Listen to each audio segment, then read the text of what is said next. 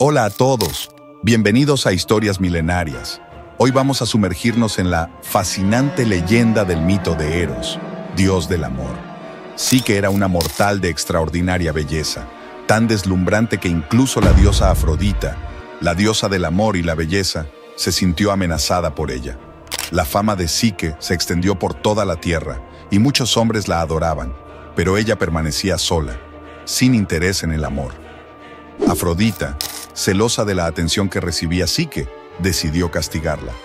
Llamó a su hijo Eros, también conocido como Cupido, el dios del amor, y le ordenó que hiciera que Psique se enamorara del hombre más feo y despreciable que pudiera encontrar. Sin embargo, cuando Eros vio a Psique, quedó tan cautivado por su belleza que olvidó la orden de su madre.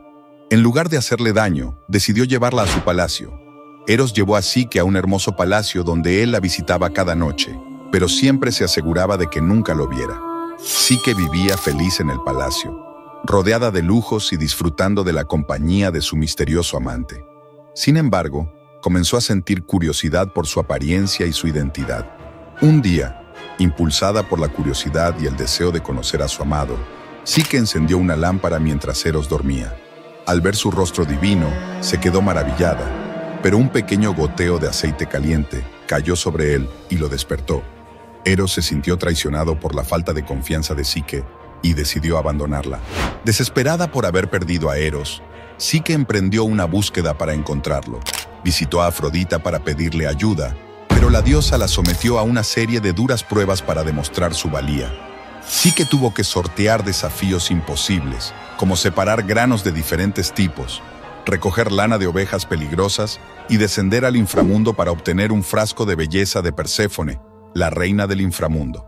A pesar de las dificultades, sí que logró completar todas las tareas con la ayuda de seres benevolentes y su determinación.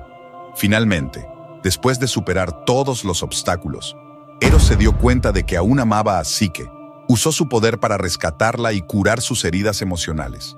Al final, Zeus intercedió en favor de Eros y Psique, y les concedió la inmortalidad para que pudieran estar juntos para siempre. Así, Psique se convirtió en diosa y vivió eternamente al lado de Eros, simbolizando la unión del amor verdadero entre lo divino y lo humano, este mito no solo celebra el amor romántico, sino también el crecimiento personal y la superación de adversidades en busca del amor verdadero. ¿Qué lecciones podemos aprender de esta historia milenaria? Déjenme sus comentarios abajo y no olviden suscribirse para más mitos y leyendas. Hasta la próxima.